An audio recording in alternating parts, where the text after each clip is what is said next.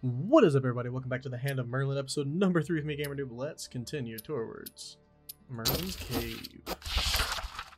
On a remote mountain path, by a clear silver stream, you come across a dead abomination.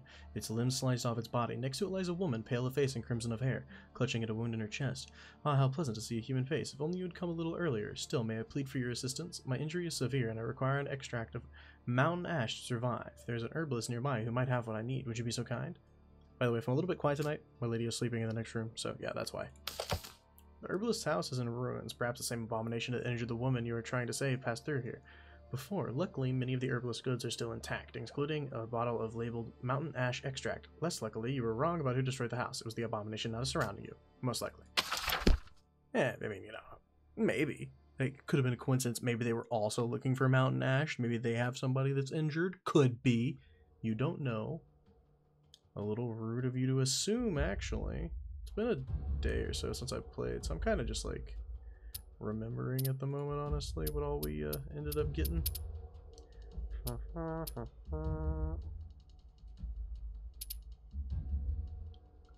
If I like move you up.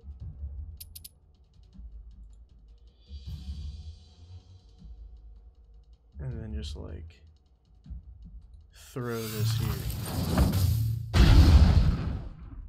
Didn't seem too bad.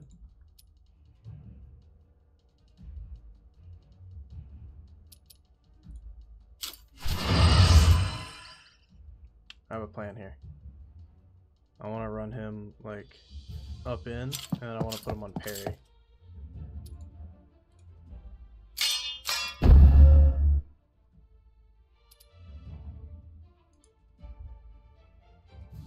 I hit from there, you think? Don't know. It's close. Nope.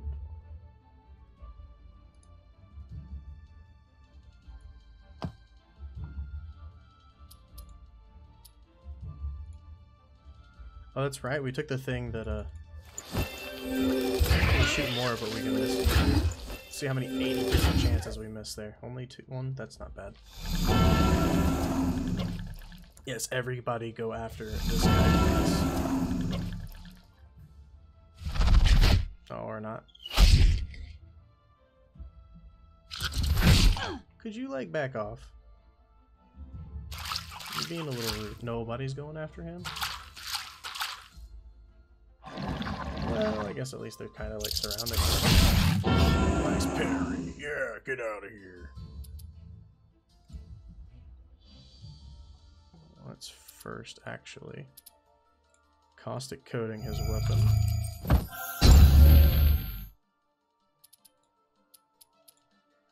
And we're gonna beautiful.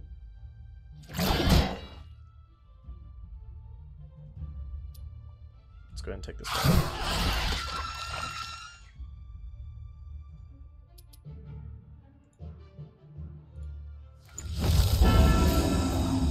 mother trucker. You're too close to shoot, right? You definitely are. Let's move you over here then.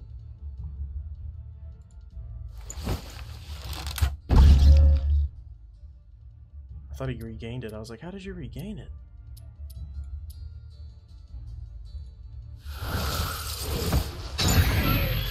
My 90 and 80% misses are just BS, bro. I'm telling you, like, that's all we get is just 90% miss, 80% miss. Like, how? How? Shenanigans, I'm telling you. Leave Morgan alone. You're getting a little rude.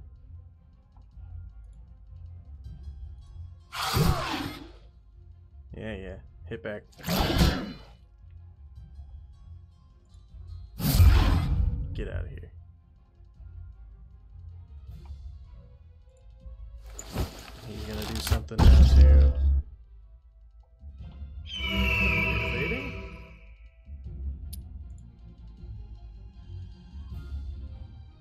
Perfect.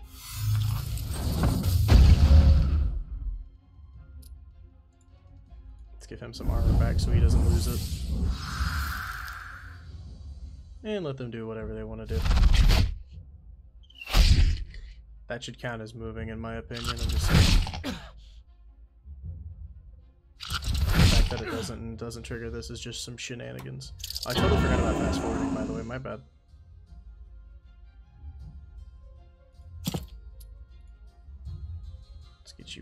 Out of melee range.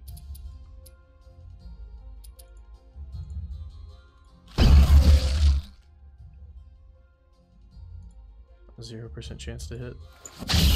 Sure, we'll take our twenty percent chance to hit there, I guess. Dude, he just doesn't hit. He just doesn't hit. No, I definitely wanted to end the turn. Like, it's so triggering. You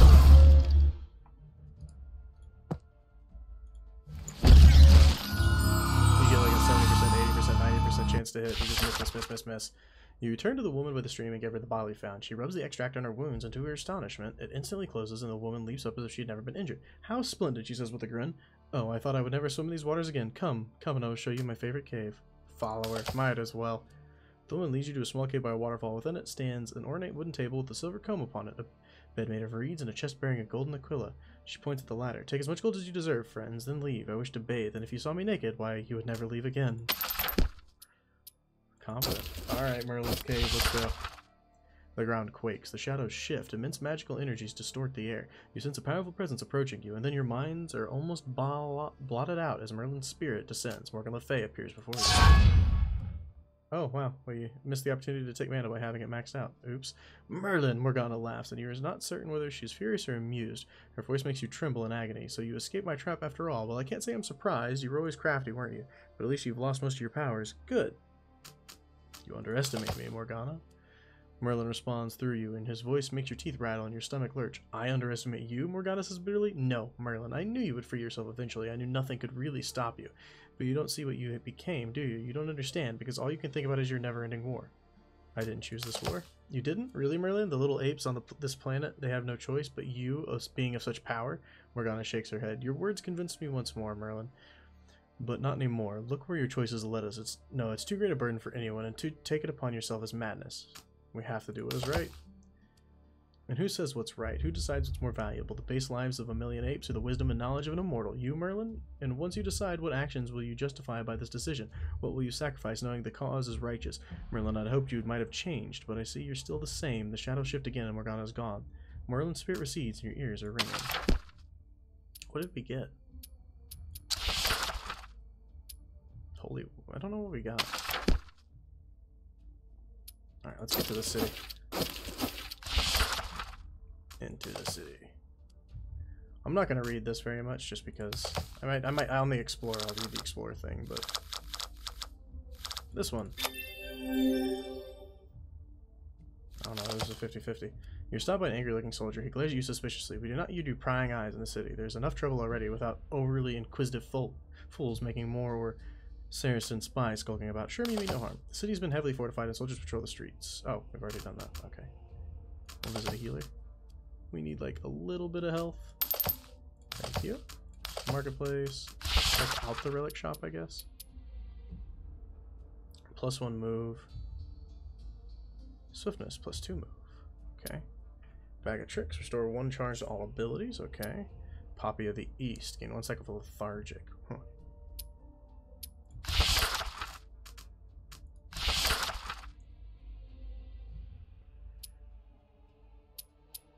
Think I'm gonna. I think I am gonna upgrade his armor even more. All right. Well, that's about that. Let us continue on. I'll leave, please. You retire to the inn. Beautiful. Let's go. Crossing the Marca Hispanica, you come across two young damsels being escorted by a Frankish knight. Knight and damsels alike seem distressed. Speak to them. The knight, the the knight, the relief of having found someone to speak to is apparent on his face. Immediately explains the situation. The two damsels have run away from their families together to pursue their forbidden love for each other. He offered to find them and succeeded, but now he is faced with a dilemma he cannot solve.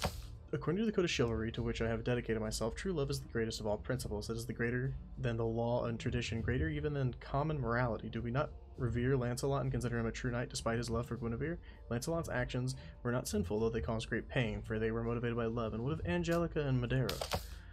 But if this is true, how can I return these damsels to their families when I when I judge that their love, though forbidden, is true, and yet if I do not return them, am I not abandoning them to the terrible dangers of this strange time?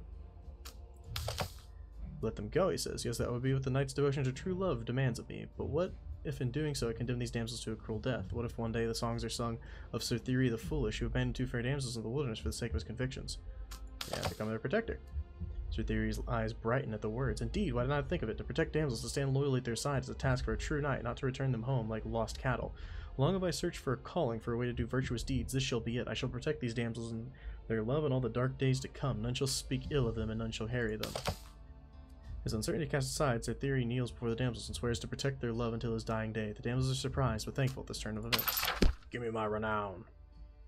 I, don't, mm, I think this is going to just go here where this one's going to go. Might as well. Approaching a hamlet at dusk, you encounter a group of men huddled around a fire in a spot sheltered by a large outcropping. Some of them are Christians, while others are Moors, and all of them appear to be drinking and gambling. They invite you to participate on condition of not informing anyone at the gathering. Let's gamble. This one. Oh, is this one? See? What did I tell you? It wasn't a major victory, but we still got a little bit of gold. The men good naturedly congratulate you on your victory and remind you not to tell their wives or preachers about this gathering. No problem, buds. Push on. The cold mountain air smells of decay, and strange things are growing beneath the snow. The veil has been wounded, and the cataclysm has spilled forth, but you do not see any of its usual abominations. Instead, you see a small shrine. You have seen its kind before here in the mountains, but you do not for you do not what forgotten god is worshipped here. Approach the shrine. The corruption has left the shrine untouched, at least for now. Is there some true power here that can withstand the cataclysm, or is it mere coincidence? It's hard to tell, but there is something moving about the resilience of the spot where people once came to pray. Heal the veil. Your prayers are healing the wounds of the veil, but this causes the lurking abominations to attack. They cannot tolerate a threat to spread the cataclysm. Let's defend ourselves, then. Come at me, you stupid beasts. We are not scared. Oh, they get to go first. I am a little more scared than what I once was.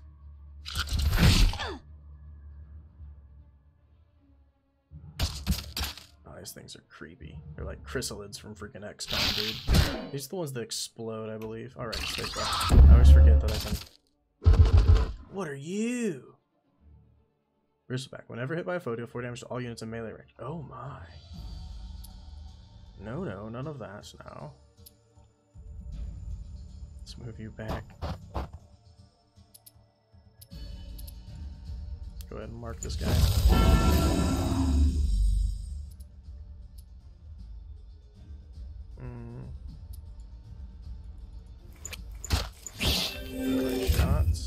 Do this as well.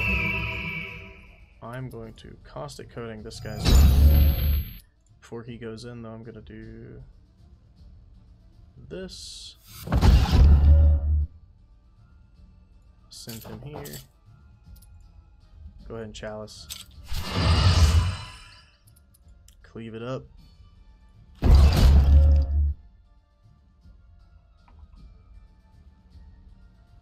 And honestly, let's uh, back that away. Nice. When are you gonna move? You, you moved. No shoot? I guess no shoot. Oh, there we go. At least we got a shot off.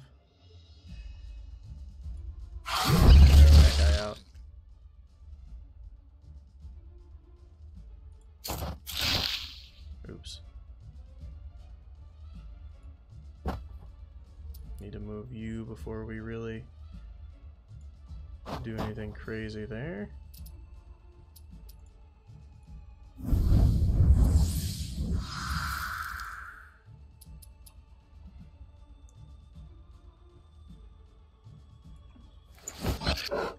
Alright, he's preparing, he missed. Take some health damage in a second. Yep, there's some health damage. At least he's got a lot of health. What do you guys? You guys explode, right?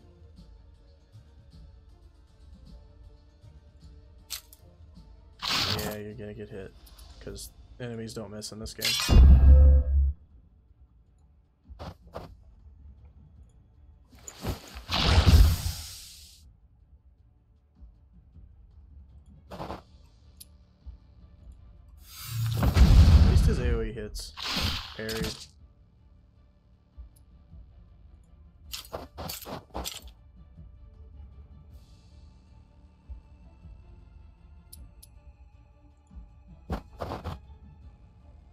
Oh, walking through that is very bad. Okay.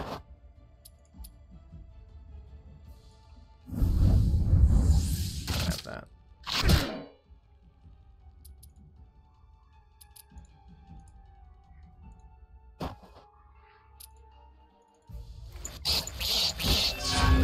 Uh, single action deal 20 points. Oh, Pog. It's sick. Please, with your 90% chance for once in your life, hit the freaking. Thank you. That was a bad fight. Having destroyed the abominations, you proceed to cleanse the wound in the veil. The alien growths of the cataclysm begin to shrivel and die. Perhaps one day people will come here and worship again. Woohoo! Hopefully this heroic mode is not too difficult. Um, for once you're making good time. The road is in good repair and the wind is in your favor. Neither bandits nor abominations bar your way. As you pass through a village, a group of men hail you. They need your help with a matter... Alright, let's get involved. The situation is a little more complicated than it had at first appeared. It began when the priest's beloved cat climbed the tree in the churchyard and could no longer come down. The priest then sent his loyal dwarf to retrieve it, but he became stuck as well. Finally, the priest ascended the tree himself, and now all three at the top shouting for help. Save the cat, the priest, and the dwarf. After much coaxing and many attempts, you succeed at getting all three out of the tree. Though the priest te tears his frock and sends half naked, the village thank you for your help, and the dwarf hands you some more coin first. Thanks. Alright, let's hope this heroic node's not too scary. Oh dear. I didn't realize I was out of food.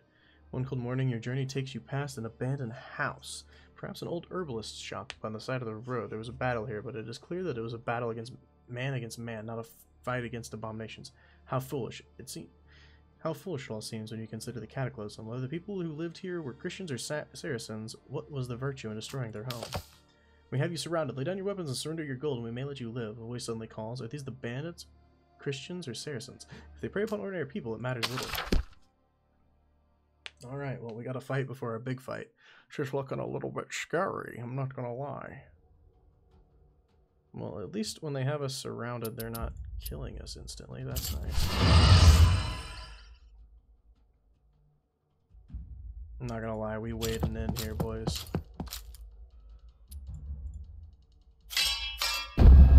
Come at me.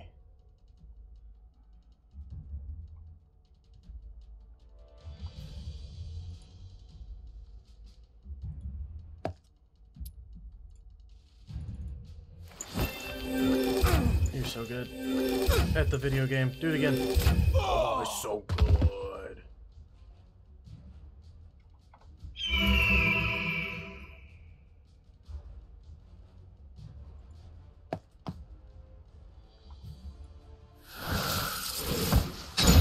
Wow, he's actually hit two in a row. Crazy. Become parried.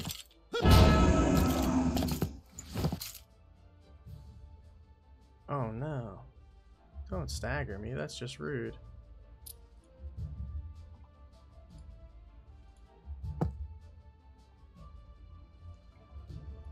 Let's mark him first. I still don't remember what Mark does. Two damage taken from Merwin, okay.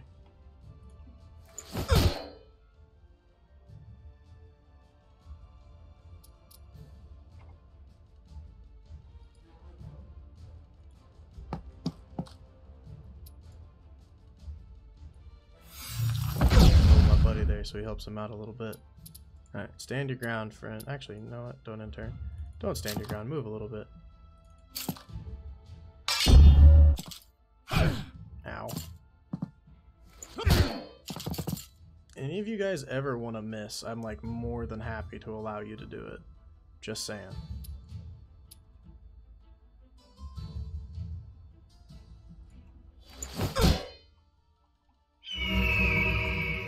She'll be fine.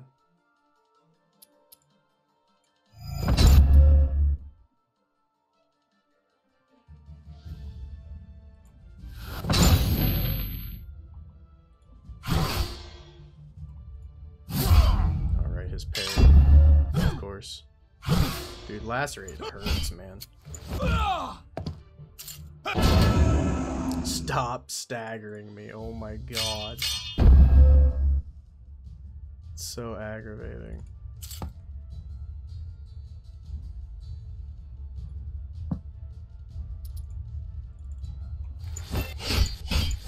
Oh my god, parry. Stupid, dude. I hate the parry, man.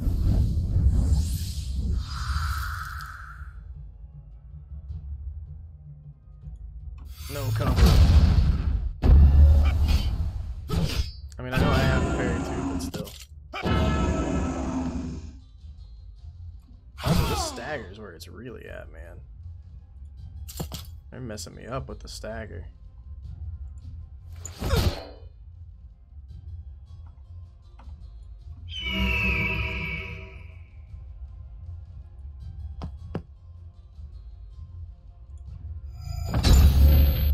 Some caustic weaponry, I guess. Dang, our health is low, dude. At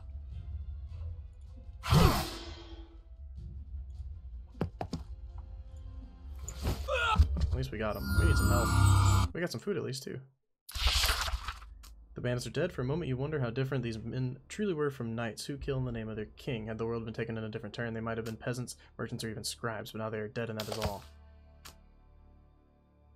The only thing of house and value is the weapon. It would seem that, of, that it was of no help to the inhabitants who left it untouched, but perhaps you may find use. Yeah, I found use, alright. Alright. Rough fight incoming. At long last, you've arrived at Roncesvalles Pass. Your journey through the Marca Hispanica is over. The abominations are everywhere. The battle prophesied by Roland is about to begin. Count Oliver, Roland's best friend, has taken command of Roland's surviving men and is preparing for battle. He's far from you across a sea of abominations, but you can see that he is calm and collected, making the final preparations before the charge. When he sees you, he lifts his hand in greeting. Oliver's men are few, but the abominations are many. But wise Oliver shows no fear. He is not afraid to die for the cause. A cry goes up among the men. Montjoy, Montjoy. It is the sound you'll never forget, and so they charge into battle. This is going to be a rough fight in comparison to the other ones we've had because we are low on health. Although I think I have... I have this. Time to use some mana finally. What are you? Taking damage, apply two stacks vulnerability to. Each turn set all allies to inspired. Okay. Is that it? Just those three? You're the Thorn Toad, you're the Thick Skinned one, you're the Wrathful one. Okay. I might not use that right away then.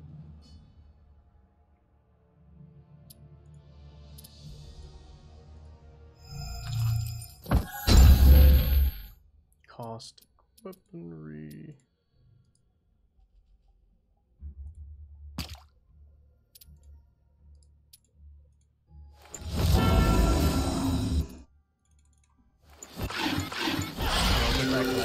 A chance to do that.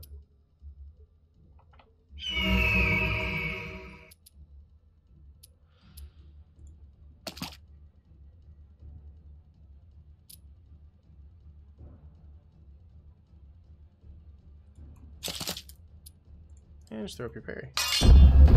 Come at me.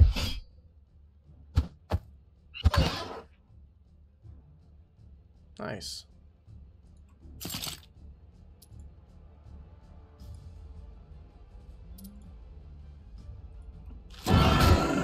Oh, he, takes damage because of him. Right, right.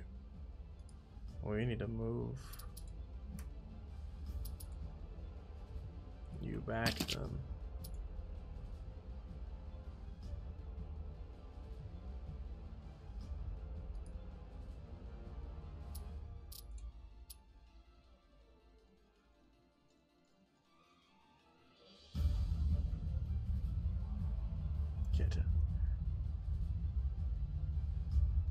Just hit him?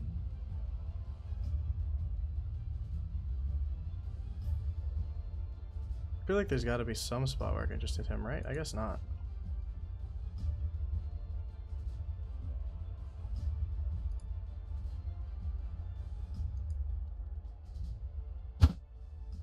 Well, this is dumb. Whatever, just do your thing.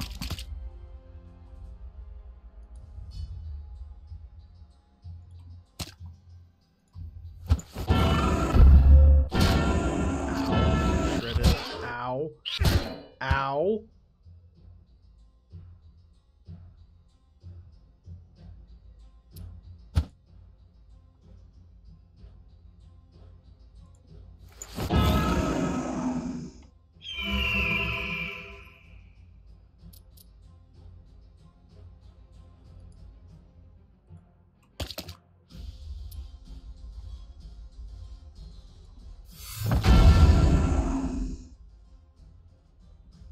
Let's get you out of this.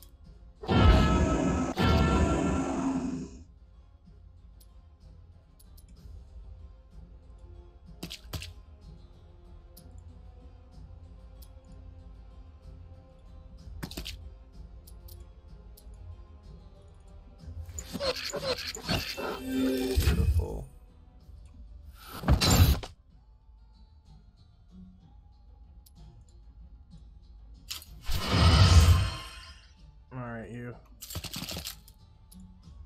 Come at me.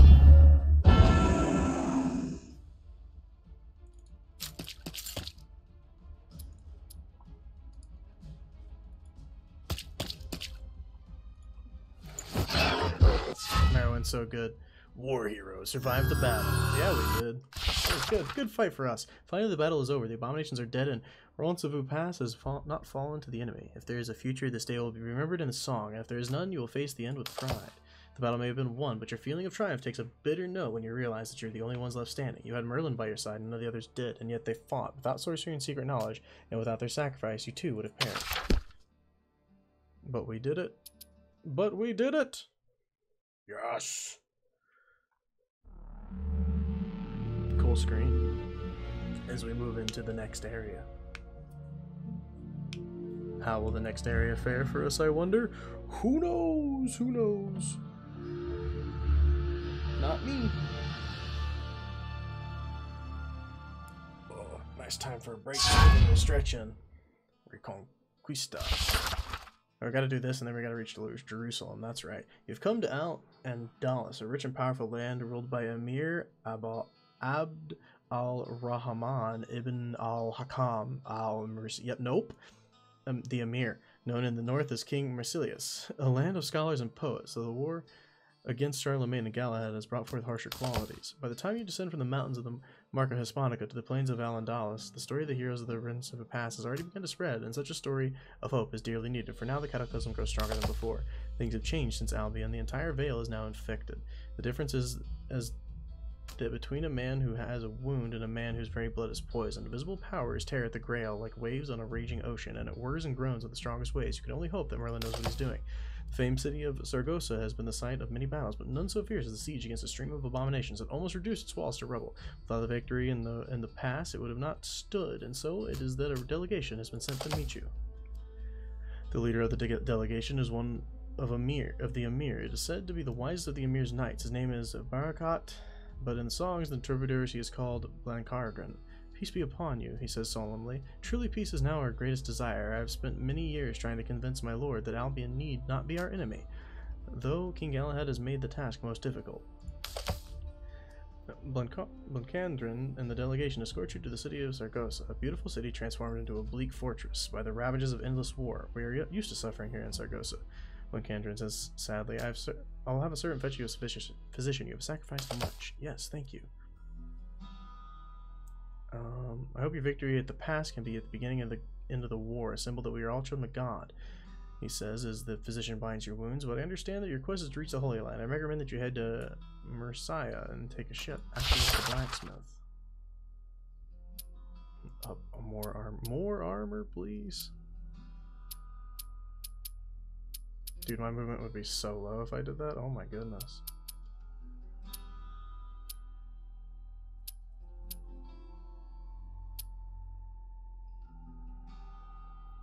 Carve staff three.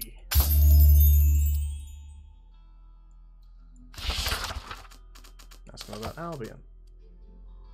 I'm not gonna read this stuff, but you guys can read it if you want. Alright, we need to find our way to a city to buy some stuff. That seems like the closest one. So, because we're out of food, we're going to take one damage per thing. So we can do it in two, three, four, five, six moves. One, two, three, four, five moves. One, two, three, four, five, six moves. Five moves. One, two, three, four, five. All right, go.